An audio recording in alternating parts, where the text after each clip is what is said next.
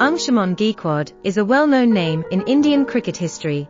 Born on September 23, 1952, in Vadodara, India, Gaekwad enjoyed a successful career playing for the Indian national cricket team from 1974 to 1985. He was a reliable opening batsman known for his solid technique and resilience against fast bowling.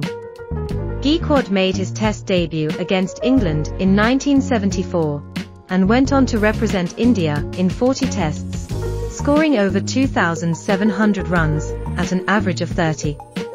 He played a crucial role in India's historic victory against the West Indies in 1975, scoring a solid century.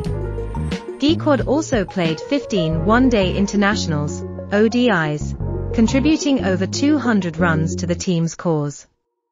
After retiring as a player, Gaekwad transitioned into coaching and administration roles. He served as the coach of the Indian cricket team in the 1990s and played a significant part in nurturing young talents.